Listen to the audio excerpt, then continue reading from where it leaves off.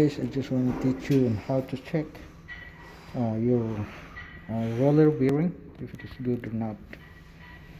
Just turn this one and for me this one is fine.